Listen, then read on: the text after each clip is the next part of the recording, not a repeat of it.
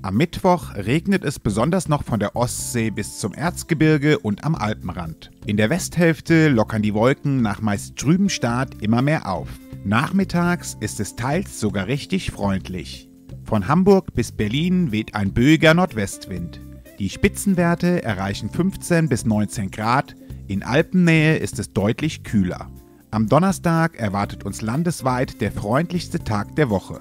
Sonne und Wolken wechseln sich ab, Schauer sind allenfalls noch Richtung Nordsee sowie ganz im Süden möglich. Mit Höchstwerten zwischen 17 Grad an den Küsten und 23 Grad entlang des Rheins wird es deutlich wärmer. Am Freitag wird es verbreitet nochmal freundlich. Rund um die westlichen Mittelgebirge nimmt das Schauerrisiko aber schon deutlich zu.